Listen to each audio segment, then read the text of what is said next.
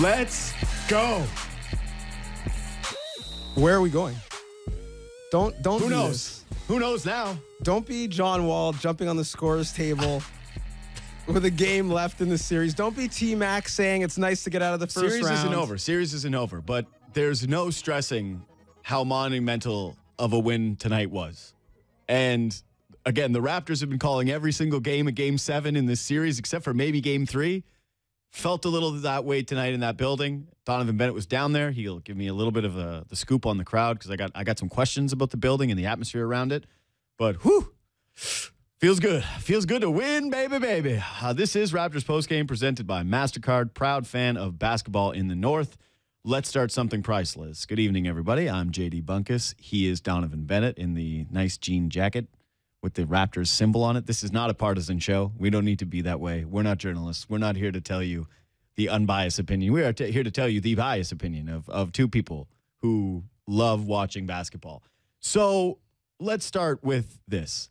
DeMar DeRozan was absolutely brilliant in this game. There were large stretches where he just put the team on his back offensively and really not much else outside of he and Kyle Lowry was working.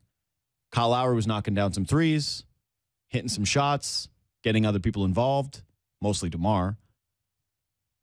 But outside of a few minutes from DeLon Wright in the early second quarter when the Raptors went with their all bench look, nobody was providing the Raptors with a punch. Heading into the fourth quarter tonight, DeMar DeRozan had 32 points.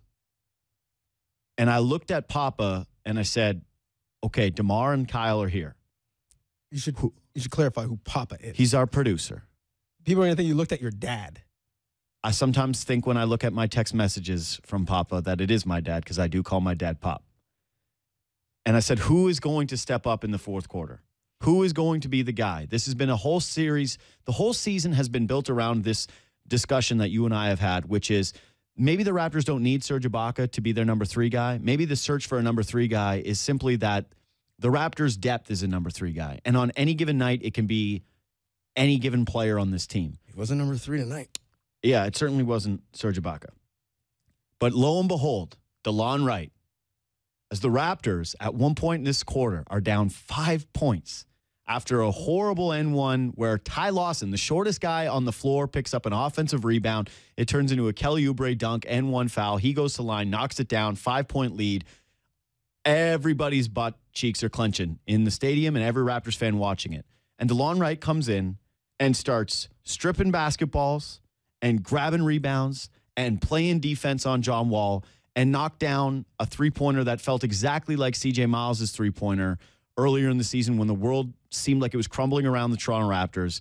And he, and I, I'll give shouts to Jonas Valanciunas too, because he came in and really made an impact in the final few minutes as well. Not used to seeing that.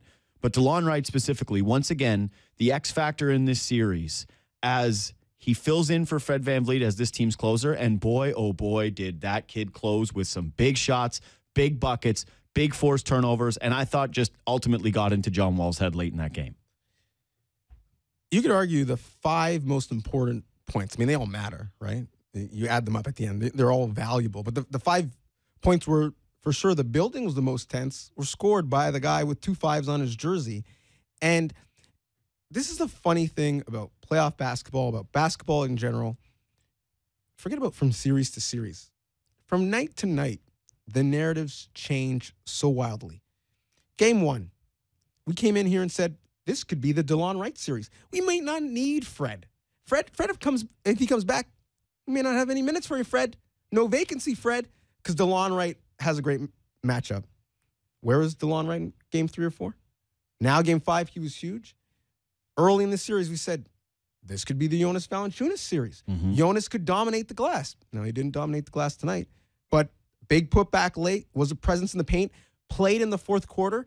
People in the building were, were chanting for him to play in the fourth quarter, and, and he did. He was a factor.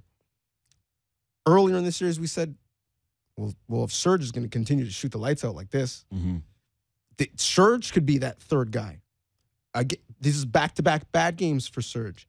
And it's not just the Raptors. DeLon Wright hits a 30 footer like he's Steph Curry, Mhm. not just wearing Steph Curry's shoes because he's an Under Armour guy. Bradley Beal has two wide open threes. Mhm. Sh- Like pregame threes, bricks them both. And uh, that's why it's tough to yin and yin and yang so much off of a result because we know just in two days, all of these narratives can change. And we could go from saying, well, JV can't play in the series, he's getting killed in the pick and roll, to, man, well, we need JV because we can't grab a board. Uh, and, and I thought that, and it's the reason why, regardless of the losing two straight, we f- still felt that they're going to figure out a way to win two of the next 3 Mm-hmm. because Dwane Casey, in those times when, man, I'm not getting much from Serge, my, my bench isn't really scoring, he has more cards to play than than the Washington coaching staff does. Just the fact that Ty Lawson, offensive rebound or not, was on the floor, that somehow he's stealing minutes from Satoransky, and every Raptors fan is like, thank you.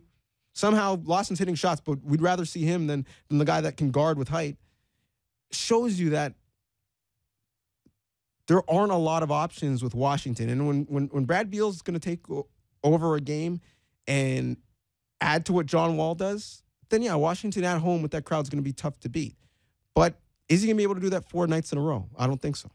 So you're right. They do have more cards to play. One thing I, I really liked about DeLon Wright tonight was he was more aggressive in hunting his shot. And there were moments where the Raptors offense stagnated and he was trying to create off the dribble late in the clock, trying to go in there with his floater. And sometimes it worked, sometimes it didn't. But I liked that he ended up getting his attempts. And I liked that he ended up going to the line. He was active and the Raptors were looking for him. In the in the last game, in game four, DeLon Wright took seven field goal attempts. And you and I lamented in the post game about how other people need to get involved because he was the he was the next closest player with field goal attempts with seven of them after Colin DeMar DeRozan. Like no one else was taking him. He was more assertive tonight, and that really paid off because if you look at game four, we criticized DeLon Wright for passing up two big three point shots. Yep. Late in that ball game, he had a chance with clean looks to, to, to, to shoot the basketball, and he decided to defer and he's decided to dribble and try to look for other people, and it ends up in poor possessions. Tonight, what you had was DeLon Wright knocking down two massive threes. Again, the one in the fourth quarter, nothing was bigger than that one.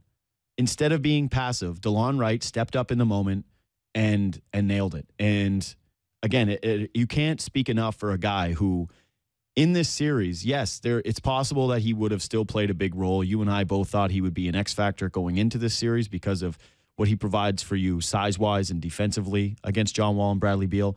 But I don't think we would have seen even quite this uh, to have two 18 point performances already in the series and to be, you know, the the third man in for at least two of the games.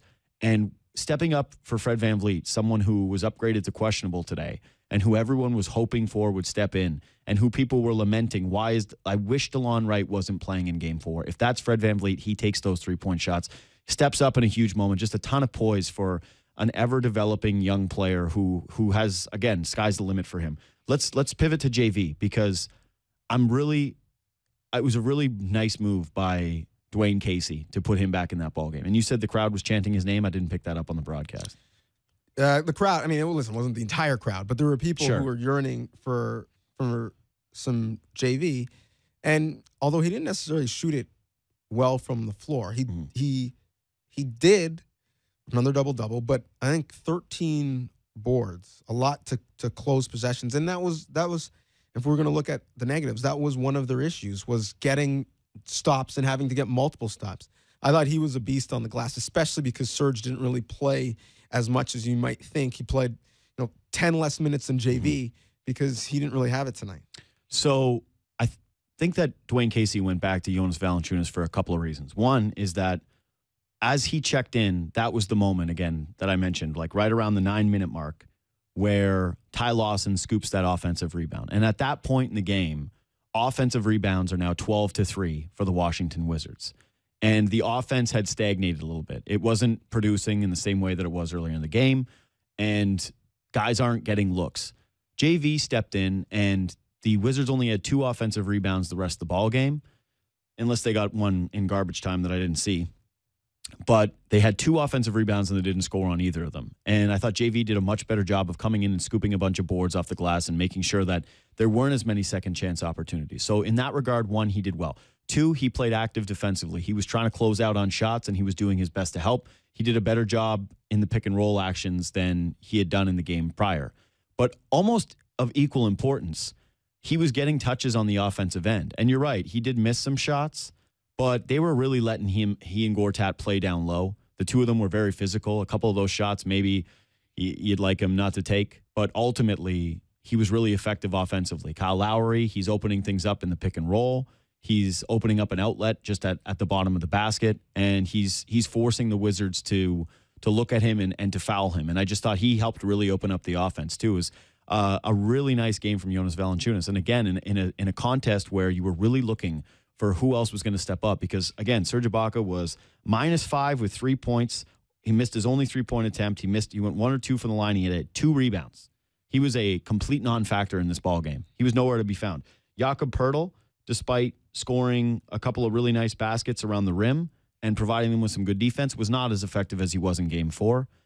And Siakam. Pascal Siakam continues to really fight it in this series with only getting 12 minutes tonight. He was overlooked for Norm Powell at stretches in the rotation. That's how how bad you know it's gotten for Pascal Siakam. So when the Raptors desperately needed a front court presence late in that ball game, lo and behold, here comes Jonas Valanciunas, and they go on a 17 to six run after being down five. And again, I cannot stress that it really did feel like the Raptors were going to blow this game. Not just when they were down five, but there were multiple opportunities where they pushed it back up. They went on a 6-0 run, and once they had that one point lead, they kept getting these opportunities where they push it up to three and they'd have a possession, and you'd be saying are you going to score here? Is this going to be it? Are you going to finally stretch this lead out a little bit? You're going to let people just relax, give a little bit of breathing room? No, no, no. But the Raptors stayed solid defensively, forced a bunch of turnovers. Washington ended up catching the turnover bug that the Raptors did not have tonight. DeRozan had a few turnovers, but I think John Wall finished with seven turnovers in this game. Like he was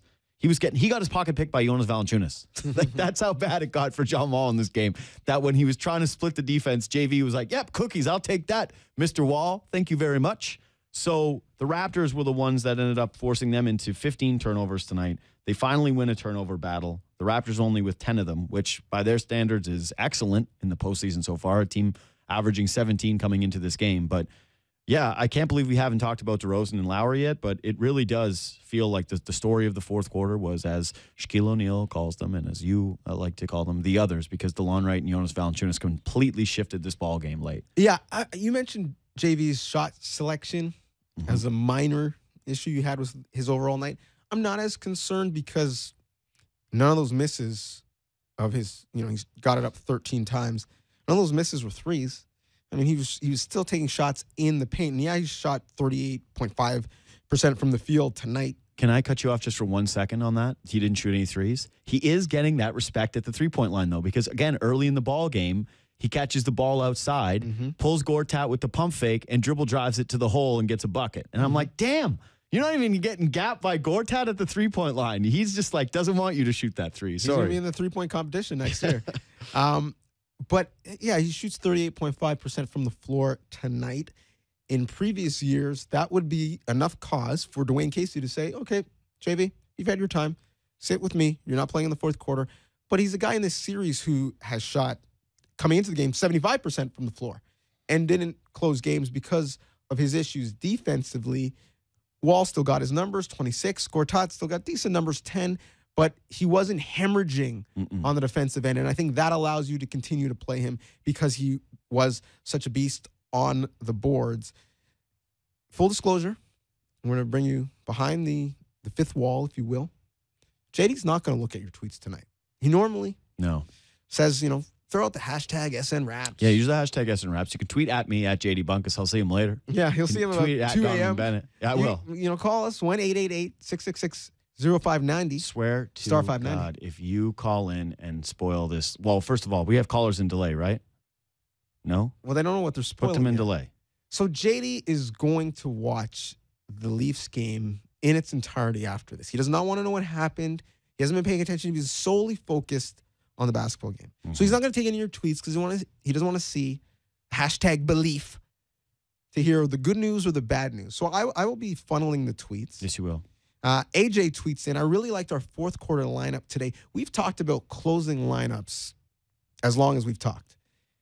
And we saw one tonight as we like to assess the closing lineup of JV. We mentioned that finished plus 19. DeMar, Started the game hot, scored seven right off the bat, 20 at the half, finishes with 32, even though he didn't score in the fourth. He was a plus 19 or plus 15. Kyle doing his, you know, a little bit of everything 17 and 10, another double double, plus 11. CJ Miles. Let's talk about CJ Miles. Hitting a big three late to ice it, plus 12. And then obviously double nickel DeLon Wright, plus 13. That's a group that I don't think no, either of us would have said was our preferred finishing five with the lead or down coming into the series, but they played well tonight. You felt what about the closing five? I liked the closing five tonight because again, the ball for stretches in this game was let's wait for DeMar DeRozan or Kyle Lowry to do something, or it's going to be nothing at all. And they tried multiple ways to to get CJ Miles open, but kudos to John Wall because he played really solid defense on him. And I liked what CJ Miles did in the fourth quarter. I really did. If you look at the three point shooting, you're going to say, "Oh, well, isn't that supposed to be CJ Miles' only thing? He was only two. He was two of seven. That's a bad. Normally, the entire barometer for CJ Miles is just look at one statistic. What did he do from three? Because we already know that he's not a great defender. We know that he can be a little complacent at times, and he's not supposed to offer you much else other than that one area of the game. He was brought in here to knock down open threes and and stretch the floor and cause openings for Lowry and DeRozan and others, and to make sure that he was respected out there. This game in the fourth, it wasn't just CJ Miles three point shooting. He got out. He had a he had a block. He got a couple assists. He played a really nice pick and roll game with with Jakob Poeltl. Found him around the basket early again before the substitutions were made, and and no one really had it. I thought he dug in on defense. He grabbed four rebounds tonight. Yep. He was he was a lot more active on the glass. Again, that's twice as many as the Raptors starting power forward tonight. and I know that he did it in he did he did it actually in the almost the exact same amount of minutes. He played if one CJ more Miles, minute. yeah, if CJ Miles is playing one more minute than you, he shouldn't have two more rebounds than you, Serge Ibaka. And a lot of those rebounds were were long rebounds, Mhm.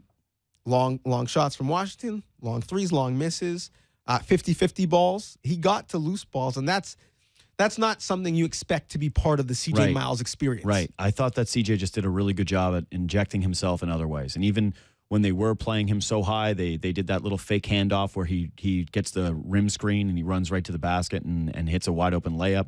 He was he was confident in attacking the basket. Again, even got to the free throw line. Yeah, I thought I thought CJ Miles did incredibly well tonight. And he, DeLon Wright, Jonas Valanciunas, as as much as you want to look at Kyle Lowry and DeMar DeRozan for the overall body of work tonight, and and Lowry had some some really really big steals, like some really big steals. Uh, they the the turnovers and the steals also really helped propel the Raptors into this win because every time Washington would try to set up in their offense, it just felt like another Raptor was there picking somebody's pocket, whether it was Lowry grabbing one from Porter or John Wall getting stripped by DeLon Wright or Del- or John Wall getting stripped by Jonas Valanciunas trying to bu- blow by DeLon Wright. Like the Raptors just did an incredible job in that quarter playing defense and having those other guys step up. Yeah, it's a great point. De- Demar had four. I mean, part of that is the ball was his in his hands a lot. I th- still think he was a bit loose with it at times, but no Yeah. other Raptor had more than two. Kyle had one after he really struggled taking care of the ball in, in Game Four, and I think you put into perspective, he had one turnover. Had ten assists. Mhm. When your starting point guard has a ten to one assist to turnover ratio, you're going to win your share, share games. Before we move on, the thing I liked about that closing lineup, and you you you alluded to it, but you didn't go all the way there and say it. They were shot ready. Mhm. Didn't mean they t- necessarily took all the shots, but they were shot ready. JV took 13. CJ Miles only took seven, but he wasn't turning them down. If, if he was closed out, he he moved the ball. Uh, DeLon had 10, which is not a huge amount, but for, for him it is, and especially when he was deer uh, in headlights in, in game four. The fact that when DeMar moved the ball in the fourth quarter, when Kyle moved the ball, those guys were looking and willing participants. They weren't carried around like luggage. They were saying, man, if I have to take a big shot in a big moment, I will. Miles did it and knocked down a big three. DeLon Wright did it and knocked down a big three. And I think that was the difference as far as bringing this game home past the finish line. Had a lead in Washington game four, couldn't finish it because no one else wanted to take a shot. DeMar was forced to take all of them. Tonight, it was a different story. Those guys were willing and active participants in the winning. So tonight, the focus, I think, moving forward in terms of what are you going to try to clean up? is the rebounding because you got out rebounded 35 to 50 in this ball game. And the offensive rebounds were especially a problem. 14 of them to your six. Not a not a great look, but one, a couple of things that I think the Raptors really need to take on them on the road with them are three-point shooting, of which they only shot 18 threes in the last game against Washington, but they finished with 26 assists, 10 turnovers, so cutting down on those turnovers, and still finished 11 to 25 from the three-point line for 44% compared to Washington shooting 5 of 26 for 19% from the three-point line and the 15 turnovers. It's it's going to be critical for the Raptors to continue to move forward that the pieces around Lowry and DeRozan, and I guess a lot of this still does fall on Lowry in terms of making his three point shots. I don't know how Demar is looking a lot more confident from from deep, and he has hit some just massive threes. He was three or four again tonight, but though the the players on the Raptors making sure that they can translate that that three point shooting, that ball movement, and that and that care with the basketball onto the road. Um, let's let's hit Demar because early in this ball game, one of my keys that I was really looking for, making sure was DeMar DeRozan shot the ball too much. He had a Russell Westbrook game in game four. It hurt them late in the ball game. And I think it it not only hurt that he was taking some bad shots, but it also hurt that he did not get his teammates involved and no one else felt confidence, like I mentioned, Delon Wright, uh, to take a shot late. Nobody else was involved, and CJ Miles ends up breaking that three. And again, hard to blame DeMar for all of these things, but – I, I do think that there is something to be said about when your teammates are involved and they're touching the ball a lot that they feel more confident to to to shoot it and to hit it. Early in this game, DeMar DeRozan came out and just established himself from from the first quarter through the third and was basically an unstoppable force. His his start was perfect. Came out, got a bucket with an easy step through, then he makes a calm play on the block, waits patiently for Lowry. Lowry makes a cut. He finds him with the ball. Then he fights through contact, beats, goes over Gortat, scores, knocks down a catch and shoot three, draws a foul on John Wall, draws a foul on John Porter, or John Porter, on Otto Porter, drives to the cup, gets an easy layup.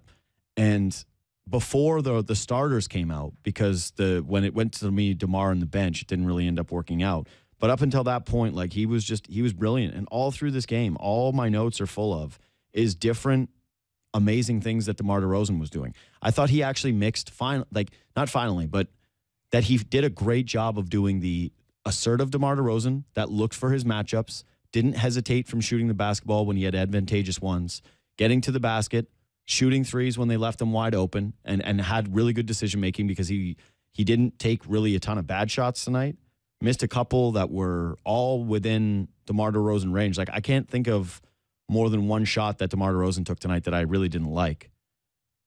And the turnovers he had, the four turnovers he had, were a result of again him probably having the ball a little bit too much and other people not stepping up and helping him. So I I just thought he was brilliant. I, I thought that DeMar had that perfect balance of attacking the basket, getting to his spots, scoring, but then also making sure that his teammates got involved or at least tried to give them some opportunities to to do so. I thought it was a it was a aggressive but measured aggressiveness. And mm-hmm. I, I, we knew he was going to respond after he struggled to close game 4 and, and he had the brunt of the criticism. But I, I actually heard a quote from Giannis in the Bucks last game to the Celtics, which was a loss. Giannis only took 17 shots in the game. And I thought it was pretty profound, but also it applies to DeMar. And I'm interested to, to get your thoughts on it. Giannis said, I had a lot of shots. I had a lot of clean looks, but they weren't my looks. And I thought it's interesting because it's difference between having a clean look, having a shot, but having the shot that you're comfortable with, mm-hmm. that you want to take, that where you're from your spots, where you've practiced. And the difference in the end of that game was DeMar had some looks. They were okay. He took a lot of shots, but they weren't his shots. And he's a tough shot taker and maker. I get it. But he wasn't necessarily comfortable. He was shooting because he felt like he had to shoot in that moment. John Wall, on the other hand, throughout the entire series, he's taking shots he's really comfortable with. He's yeah. always under control. Getting to all his spots. I thought tonight DeMar took just as many shots, was just as aggressive. And, you know, people could criticize about the hero ball and the ISO ball. I mean, that's a real thing. The Rockets put up 50 points in a quarter off ISO ball. Mm-hmm. I think if you're getting to your spots, that shot in the hands of your best player is a good shot. Tonight, I thought the shots early, even though he was aggressive and the offense was all him, they were good shots because they were his shots. Does that make sense? Yo, it does. Uh, I would say that the only difference between him and and uh, the Greek Freak is that DeMar DeRozan still has more shot making ability in his repertoire. Like there's more shots that I feel like DeMar DeRozan can take and make from different areas of the floor. Even when De- DeMar is doing the he he had one where he he didn't make it on Bradley Beal late in the fourth quarter Mhm. where he got him on the block and he was trying to create for himself and he was trying to be aggressive. And Beal played excellent defense and slowed him down. I, I still looked at that and said, "All right, that's that's a fine attempt for you. Like that's that's okay." And DeMar DeRozan shooting fifty percent from the field. Like, and again, if you're gonna have three or four from from deep, mm, that's that's gravy. I didn't I didn't look at DeMar DeRozan's shot selection tonight and, and think it was all that bad. Again, even some of the turnovers he had, I I thought it was because teammates weren't moving and it's it's him trying to do everything and guys are kind of standing around and ball watching him do stuff and then he he gets trapped by a couple by by the defense and ends up losing the ball. So I, I really don't have anything to criticize about DeRozan's game, especially when he's got five assists with that. I got some tweets for you. Sonny K, great gamble tonight, taken by Casey, putting Jonas in the game in the fourth, cleaned up the boards, hustled on D, offensive rebounds, steals. I, I think you would concur with with all that. I would. Uh, our guy still has perfect attendance. Brennan Delaney. Officiating was awful tonight, quite frankly. Don't care if Toronto won. That kind of officiating needs to get out. Guess who one of the rest was? Question mark. Marc Davis. Also, why did it take JV so long to play in the fourth? He wanted more JV. The controversial loss against the Thunder, where a bunch of guys got thrown out earlier in the year, if you're not sure about the reference, was officiated by one Marc Davis. Again tonight, the official was Marc Davis. I mean, we have a reputation as Raptors fans as complaining about woe is us, American media and league office and refs hate us. I mean, Kelly Oubre Jr., and we've seen some tweets about the issue that he's getting star calls and he's not a star. Did you Mhm. have an issue with the officiating tonight? Nah. There was one in the second quarter, I think, where Kyle Lowry got bulldozed uh, by Otto Porter, where Otto Porter just stuck the arm out and fell on top of him, and Lowry ended up getting a blocking call. But outside of that, I can't remember another call where I looked at that and felt like it was an egregious miss. I I, I don't. I, I think people put too much stake into the officiating of these ball games. I know it gets frustrating, and you you want guys like DeMar DeRozan, especially who and Kyle Lowry, who are who are attempting to get to the basket and to finish there. But nah, I, I really thought the officiating tonight was balanced and, and pretty fair. I, I, I did. I before I turned my phone off, I saw a few people tweeting in at me about are these refs serious? Is this real? Like is what's wrong with that NBA official? And but I, I just I didn't feel that way. Like I didn't I didn't look at it. To me, the the concerns from this game, if we're gonna go with like things that actually bothered me, one was I just I thought Serge Ibaka played with no energy. And to be coming off of three days rest, I expected rested Serge to show up. And I thought a big reason why they dominated on the glass was because he didn't show any effort with defensive rebounding. Like he was in he was nowhere to be found. He didn't shoot the ball particularly well, and I didn't even think that he was like doing really anything on offense. Like what did Serge do? Like, do you remember Serge plays? No. At all? Um he had a he had a sloppy turnover again tonight. And no blocks. 23 minutes. Like you'd have a hard time to go through a box score and, and have it be just about as accurate as Serge Ibaka's play was tonight, where you just look across the board and he was just a complete non-factor tonight. They're going to need more from Serge. And OG Anunoby, if you look through his, see, this is what I'm talking about in terms of differences in box scores. OG, same thing, only three points, ends up a minus three, had a couple of turnovers, and was only one of four from deep on his on his three point attempts. Had should have had that was actually a bit of a weird call too. I guess he did get his knee into to Gortat's junk. Uh, to me, that just kind of looks like a guy going up, and it's a little unfortunate incidental contact, but I think that's a non-call. So it should have been five points for OG. But OG's defense once again in this game was brilliant. Thought he did. I thought it made a. It was a really nice to have him on John Wall early and trying to take John Wall a little bit out of his rhythm. And I didn't think. I don't think John Wall or Bradley Beal look as comfortable when OG Anunoby's on them. He's just he's done a really good job, and he had a he had a really nice steal early. A couple of like not so great turnovers, but but he was active. He had he had a good block early on in that game, And I, I actually thought that this was going to be a game where he closed, but you ended up getting quite a bit from CJ Miles, and so it was tough to take CJ out. But it wasn't uh, because of anything OG Anunoby was doing. And even the three he hit in the third, after going 0 for 3, guy sticks with it and and knocks and knocks one- down a big shot. So again, another another solid game from the rookie tonight. Big night in sports tonight. Yeah, Got a little breaking news for you. don't. A little breaking news. I know this is something TFC related. JD Bunkis, I know you care. I'll have you know that late at the end of the game to win it, LeBron James hit a three to win. And the Cavaliers won by three. His only three pointer of the night Gross. gives him 44 points, 10 rebounds, 8 assists in 41 minutes. The Cleveland Cavaliers take a 3 2 series lead over the Pacers. Yuck.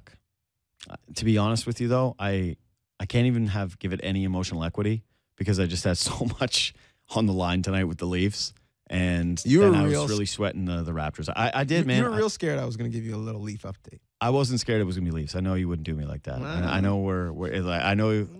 Listen, I know that I can annoy you at times. I know I can bother you at times, but I know that you're not gonna you're not gonna kill me with the Leafs, especially when I've tried so hard. Oh, and plus, this is all videotaped. I guess people would have footage of you dying, and so that would be good. Like it would be Oh, please. open and shut, Oh, but it would be you definitely dying on camera as I, I murder you in cold blood for ruining this game for me. Man, I've, I can't believe I've made it this far. What's that? Yeah, what- exactly. Hey, Kadri listen, did, Kadri, test- did, Kadri did what? test your fate. Like, let's see, let's Wow. see, test your fate. Uh, a couple things. that- really?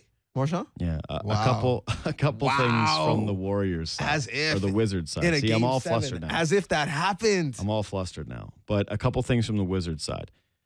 It was lucky that they didn't really get a ton from their power forwards because I thought that it was a night where you could get opportunistic. C- CJ, Ma, or sorry, Pascal Siakam and Serge Ibaka, neither guy ended up giving you much, and so the Raptors ended up going small for some stretches. And I think that has again a lot to do with the, the defensive rebounding. Is that Casey hasn't wasn't able to find a power forward that was really going to give him anything in this game. Like there was just no, they, like you weren't getting anything. And even though Pascal, I thought, found himself a little bit in game four because he was doing some pretty good defensive work against John Wall, the the possessions he got against Wall in that game, Wall was just blowing by him. He had he had absolutely no problem. He made the adjustment. He figured out what what Pascal was doing pretty quickly. Um, but the the Wizards, I didn't think that they were able to get like Markieff Morris, two of six, 0 of two for three, and Mike Scott, who checked in early and and did some damage, ends up with three of five, but only 14 minutes. Strangely, I. I'm not really sure why Scott Brooks decided to to pull that lever away. Maybe it was because Kelly Oubre Jr. was was doing things, but even Oubre Jr. like he's one of seven from three. He missed a ton of of good looks in this ball game, and I actually thought he took some really bad shots. So when you look at this, how much credit are you giving the Raptors for their defense tonight, and how much are you giving? Are you just taking it away because Washington was just so dreadful from deep? And but they again, forty one percent and nineteen percent from three. There was a stretch in the second quarter where, or was it the third? I think it was the second. Yeah, it was the second quarter where the Raptors went almost seven minutes without a field goal, and they finished the quarter shooting uh, or the half shooting only thirty seven percent. But the Raptors only had a one point lead, which was which again was tough to swallow, which was kept leading me to believe that the Raps were going to blow that one. But what did you make of the Raps defense tonight? I thought the defense was was good. It wasn't as consistent as we're used to in the regular season, but Washington a very good offensive team, especially in the half court. Listen, Wall and Beal combined for 46. That's I mean it's it's not great, but it's not terrible. It's not 56. It's not 66, which could happen. And if you told Dwane Casey pregame, you're going to keep Wall and Beal to 46, I think he'd take that. Why? Because I don't think he thinks that the rest of the Wizards, and they don't go that deep, so the other five guys that are going to play Mhm. are going to be able to score 80 points on their own, Mhm. right? You leave them in an open gym. How many? How, how long would it take them to put the basket, the ball in the basket 40 times to get them 80 points? And so, as long as those guys aren't going off for 55, 60 points, killing you, and also bringing the others along at the same time, I think you'll I think you'll live with that. And, and so I, I do think that even though it wasn't pretty at times, the fact that and let's be honest, Bradley Beal's 20 points was a quiet 20. He was he was 20 points, but he was a team worst minus 14. Bradley Beal, even some of his shots that he hit were ridiculous step backs. I'm more confident in Bradley Beal hitting a shot right now in the series when he has that step back late in the clock with a hand in his face than I am when he's getting a clean look right now. Seriously. Mm-hmm. Yeah, I, I agree. I agree. He's been good. Um, or he's been good at doing that. Um, JD, I don't know. I know you don't want to hear this, but uh, I have some breaking news for you. this is cruel. I've got some breaking news for you. Let's do it. What's your What's your first name again? Giannis David. Giannis David. Giannis David. You should You should have more love for Jonas if you're Giannis David. I do have love for Jonas. Shady, some big news. Hawks head coach Mike Budenholzer has mutually agreed to part ways with the Atlanta Hawks. That was never a surprise. He wants to win, and the Hawks don't look anywhere close to that. I think that they're ready to keep tanking. So what did he go? He's going to go to the Suns. Is that what? Well, he already kind of said no to the Suns, so I'm not really sure. So maybe it's else? awkward when you let your coach go talk to other people while Yeah. he's still your coach. Yeah. So what do we make of of what's happening with Serge Ibaka right now? Because again, he was so good through the first like the the first game of the series. He stepped up. He's he looks great, and then tonight, just like again, nowhere to be found. I'm I'm not going to write him off because this series has been so weird, and he is obviously a very capable player. He could show up in Game Six and end up being, you know, the Raptors' best guy, and it couldn't be it shouldn't be that shocking. But the rest clearly doesn't end up getting him going. And I wonder if it's a situation where the Raptors need to find a way to get him involved in the offense early. That Serge Ibaka needs to take some shots. They need to be looking for him to shoot some threes early with his feet set, of course, uh, but trying to get him involved because I do find that when Serge isn't involved early and he's not getting clean looks and he's not getting the shots that you like, he starts to insert himself in ways that you really don't enjoy. That's when he starts to try to make a little bit too much happen with the dribble. That's when he starts to try to take that floater. That's when he starts to take fouls. He wasn't moving very well on defense either. Like guys were blowing by him tonight. He he wasn't able to really stay in, in front of defenders. And normally, I think that it all starts. He can just pick himself up by engaging on defense, and he doesn't need the offense. But I think more and more we're learning that Serge Ibaka still likes his touches. He still likes to get his looks. Yeah, he only got three shots in the game, one Right. for three. So it's it's hard to be upset with the fact that he didn't shoot a good percentage because he didn't shoot many shots. Right. And that's in 22 minutes. And again, to start this series, he was a guy who was looking for his shot. He was super aggressive. He was shot ready. At that spot, him and Morris went at it a bit. Morris didn't play necessarily well, or at least from the field. Finishes with only six points on 25% shooting, but he had nine rebounds. He he he impacted the game in other ways, and that's not a matchup again that you think Serge is going to lose and lose handily, especially when both guys aren't scoring because Morris at, at this point of his career is is a stretch guy. The the interesting thing with Serge, and no, I'm not going to write him off because as soon as you write someone off in this series, they play well the next game. The interesting thing with the Serge dilemma is it okay if you're not playing him, who are you playing? Jakob Poeltl was a team worst minus nine in 15 minutes. Siakam has struggled for all the same reasons that Serge has. And and actually, what concerns me about Siakam is, I mean, he's going to miss some shots, fine. What what do we think about when we think about him? What are the signature plays? Why was he effective at times in Game Four when he's out leading the break, running, dunking, you know, running things down and, and making blocks in, in in transition defensively? He he his real talent is the fact that he's a gazelle, Yeah. and we haven't seen that from him. And, and mind you, playoffs the pace slows down a little bit, uh, but uh, we haven't seen that. And, and so if you're not playing Serge, I'm not really sure who else you're looking to, and I'm interested to hear what our next guest, Eric Smith, would would say about that situation. So yeah, radio voice of the Raptors. Eric Smith joins us now, TV sideline reporter for Sportsnet. Hey Eric, how's it going, man? Good, guys. Hey, so uh, this is kind of a weird way to bring you in, considering what happened with this ball game. But Serge Ibaka not super effective tonight. You know, d- finishes up with the two rebounds. He's a minus five. He only takes three shots. I'm wondering if you think that the Raptors maybe need to do a bit of a better job at, at trying to get him going early in ball games with his offense and letting him feel the ball a little bit more and trying to drop some plays where he takes shots. Um, yeah, I mean, I wouldn't be opposed to that because there's no denying. I, I think I even kind of tweeted out earlier that you, you need somebody else to be making shots. Uh, DeMar DeRozan was clearly effective tonight, especially in the early going. Kyle Oh. Lowry seemed to be kind of getting his as well. Uh, but that was the issue to me as this game was going on until the fourth quarter hit. Who else was stepping up? Who else was making shots and doing anything for this team? Uh, and that was the, the the major issue I thought uh, was that you had more shot makers on the other side. And, and even if it's just a bucket here and there, two or three buckets here and there, that's the difference when you look down. And you know, I heard you guys talking about some of the struggles from from Poeltl, uh, from Siakam, from Norm Powell, who saw some minutes tonight. Nobody else, uh, OG, Serge, nobody making shots, and, and and there wasn't enough balance to the offense overall. And I don't think it was a product of DeRozan forcing stuff. I think it was a product of DeRozan getting his because nobody else was getting theirs. Uh, so, so if, if to your point, JD, maybe getting in, Serge involved a little more, a little bit more, excuse me, drawing stuff up for him.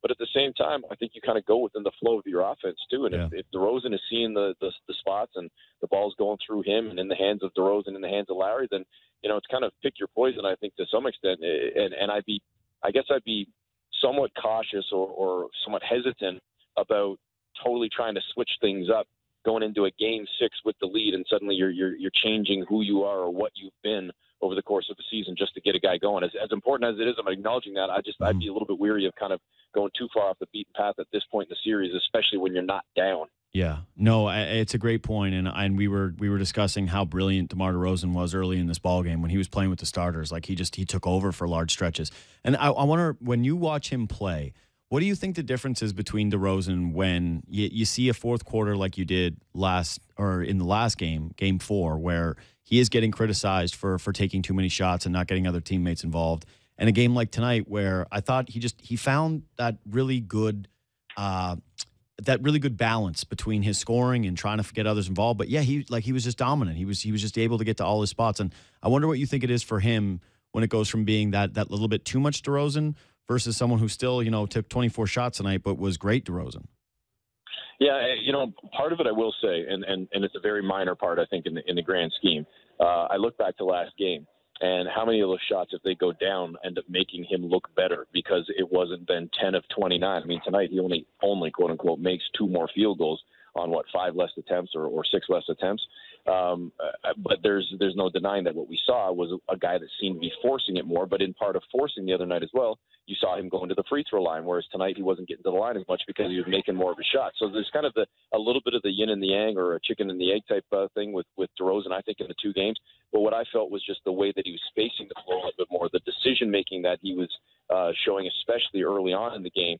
Uh, I think that's maybe what was more impressive is just decisions that he made, and they were smarter decisions in key moments, whether it was attack, whether it was pull up, whether it was move the ball. And I thought he seemed to be.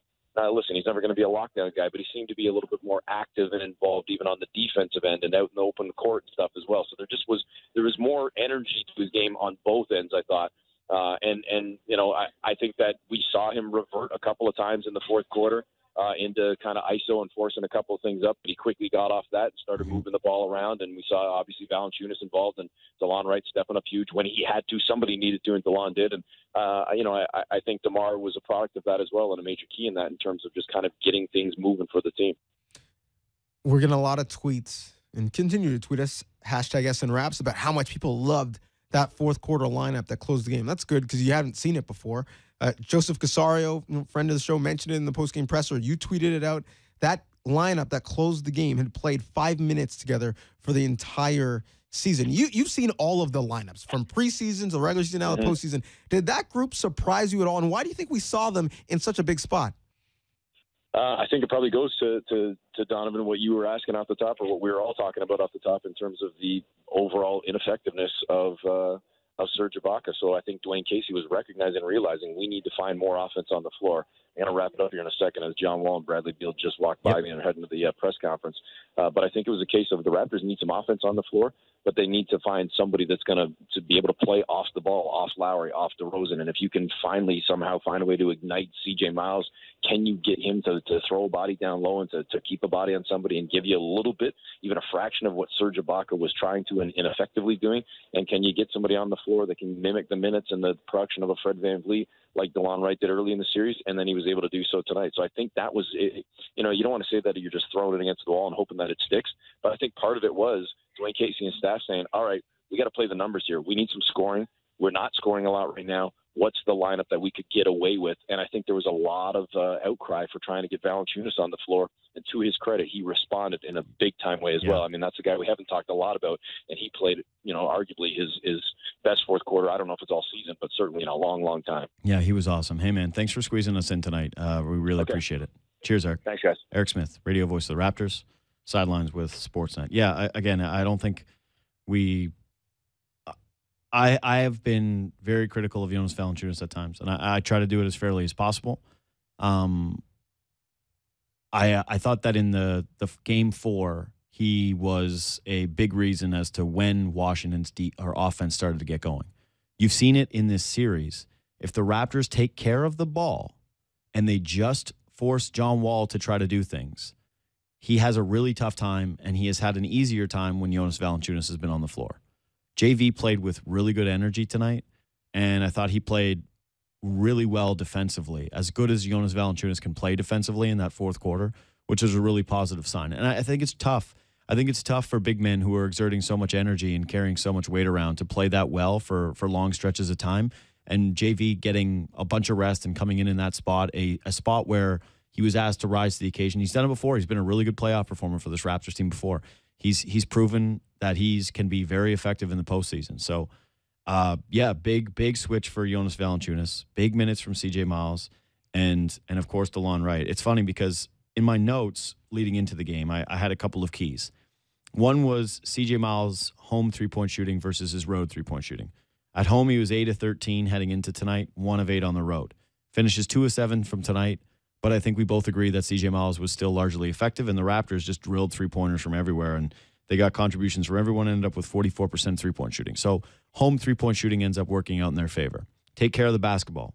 You cut down on your turnovers from averaging 17 a game. You cut them down to seven, and you ended up being the team that was forcing a lot of mistakes from from the Wizards, especially late.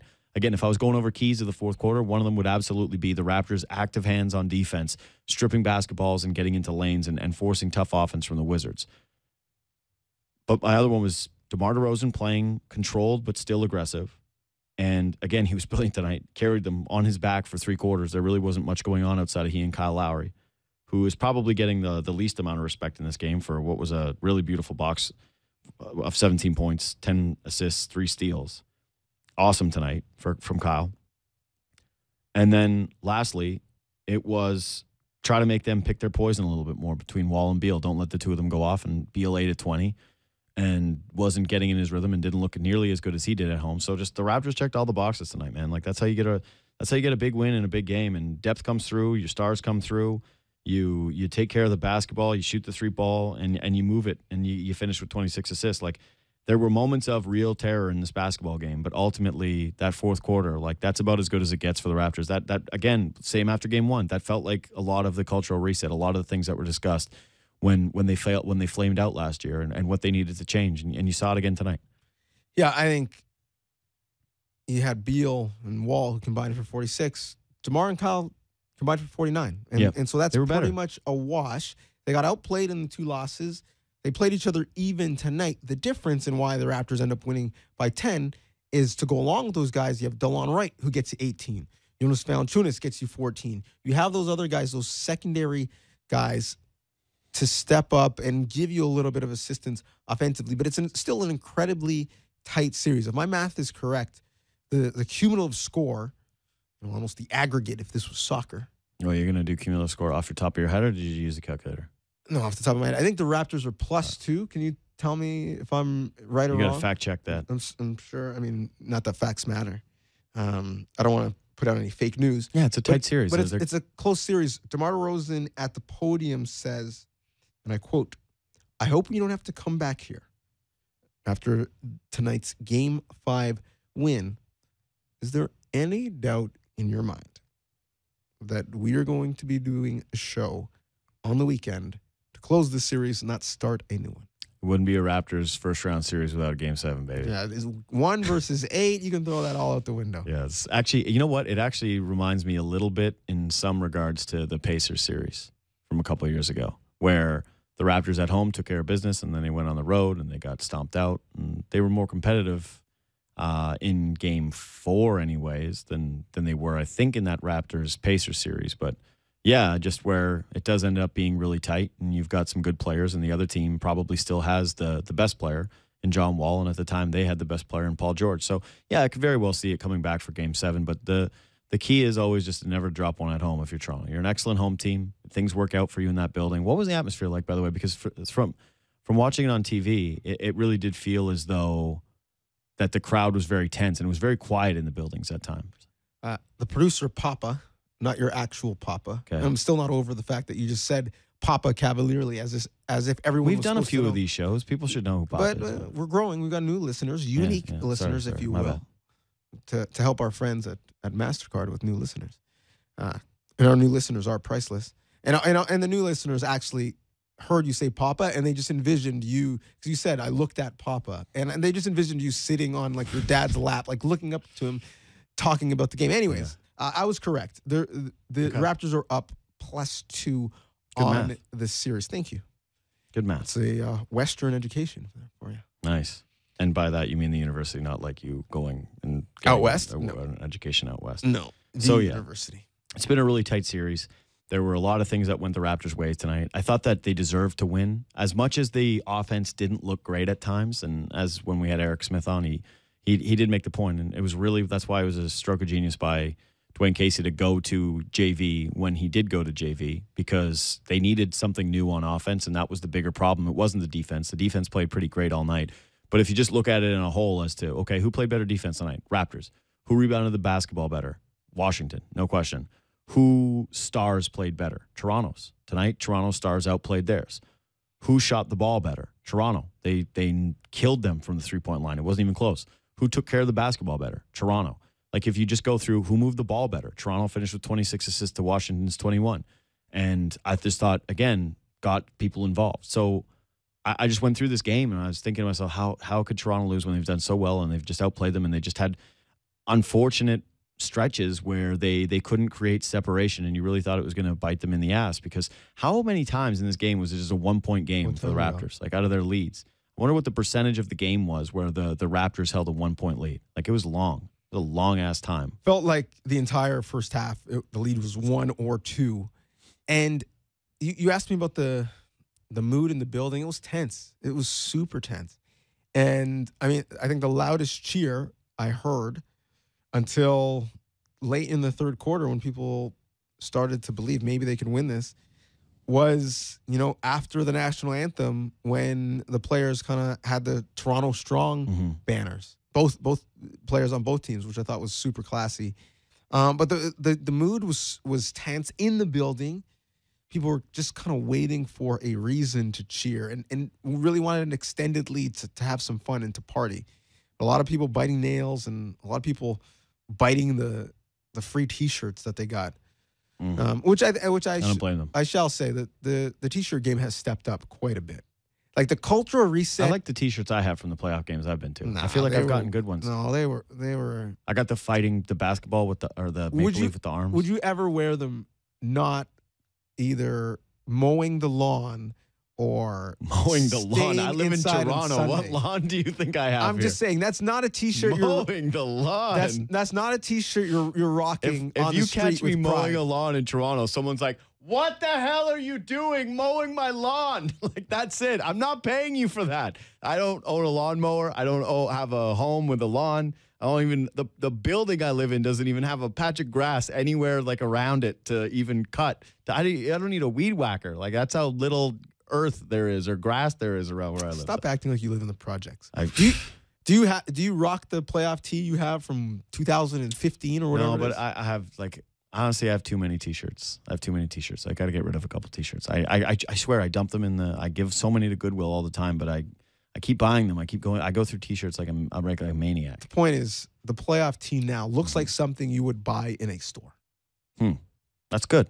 People should should get that. Although you know always know with whatever the logo is on the. Did you get one? Did you no, steal I didn't get one. I was working the game. I wasn't. I, oh. wasn't there as a fan. Well, I don't know. I the- thought maybe the, you were referencing the shirt you're wearing tonight. That this was one that they threw because No, they it's a weren't. Raptor they weren't giving out. wear. No, they weren't. They would be very Canadian if they gave out denim shirts to the fans, but no, they didn't give out denim shirts. Before we go, tees. before we go, just a couple of quick things. One is you were talking about the front court and how guys have struggled all throughout the series, and that's very true. You thought that the Raptors would have more of an advantage in the front court when you look at this thing on paper, because yeah, Markieff Morris, Mike Scott, Ian Mahinmi, Mahinmi, and uh, Marcin Gortat do not compare to what the Raptors have in the front court. And even early in the series, when they were throw- throwing Lucas Nogueira out there and he was giving them good minutes, you were thinking, yeah, you know what, this this Raptors front court should be able to dominate in this series.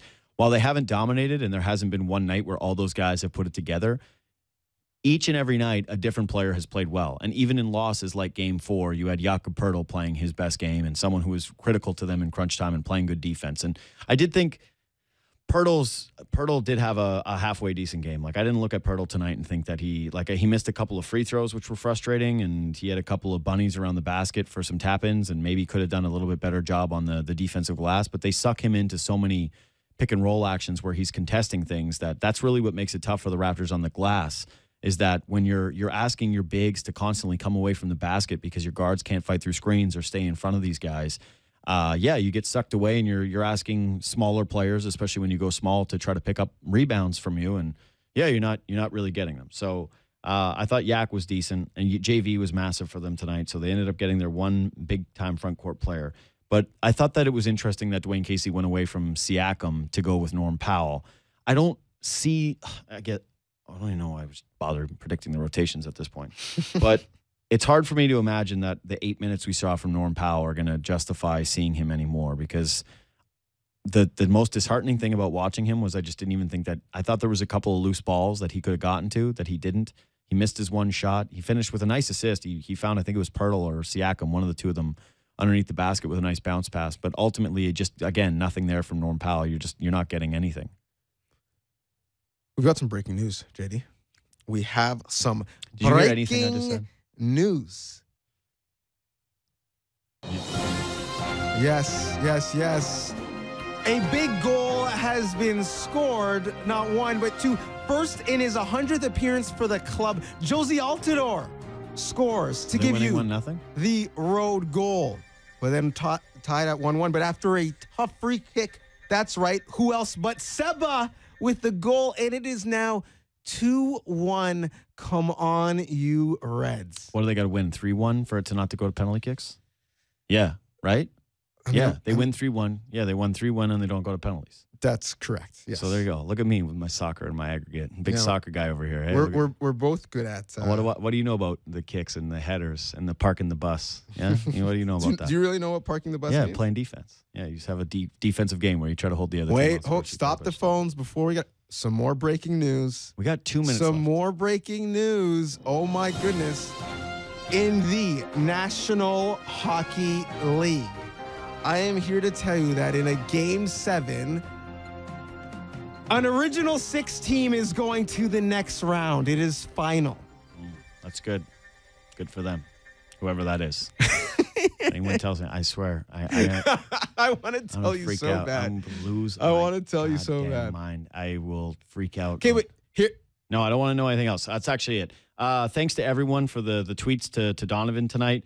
Thanks to everybody that's downloading this in uh, the podcast form on Free Association. Thanks to everybody that's watching on the YouTube page. Um, and again, you you leave the reviews on the podcast. You can leave your comments on the YouTube page. Although I, I made a pact to myself, probably in university, I wouldn't read YouTube comments. I think that if you're still reading YouTube comments, you're on the hot seat. But uh, yeah, we really appreciate everyone that's doing that. And of course, most of all, we appreciate MasterCard because this show, Raptors Post Game, is presented by MasterCard. Proud fan of basketball in the North. Let's start something priceless. We'll see you Friday night yes, sir. after the game in Washington, where the Raptors are going to wrap things up.